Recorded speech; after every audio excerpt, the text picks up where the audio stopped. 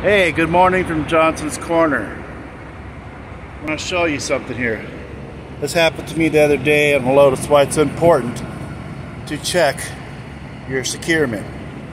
Nice long, but you see how I got in a hurry? This is my mess up. You see how the link is broke and the binder came through there? If you look on these chains, see the, where the weld side's at? You don't want to put your binder on the weld side. You want to put it over here. And I was in a hurry on this one here and did, didn't pay attention to what I was doing. Uh, so now, luckily I caught it in time.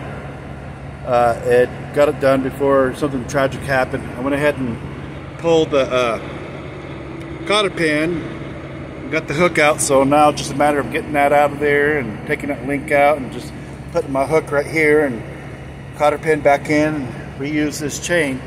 But wow, that's why it's important that you don't put your binder on the weld side. You always put it on the other side.